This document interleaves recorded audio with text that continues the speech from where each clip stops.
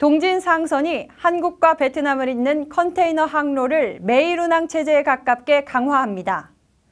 동진 상선은 장금 산선과 선복 교환 방식으로 홍콩 베트남 서비스를 3월 14일부터 시작한다고 밝혔습니다.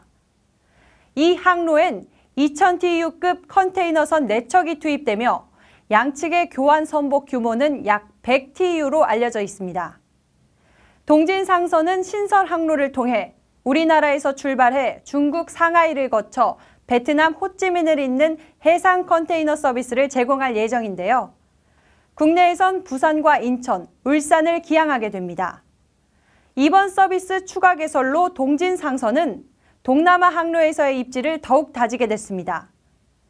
동진산선 관계자는 최근 베트남 해운 시장의 수요 성장에 대응해 서비스를 확대해 가는 것이라며 주 6회로 항차가 늘어나면서 서비스 경쟁력도 한층 높아질 것으로 기대된다고 말했습니다.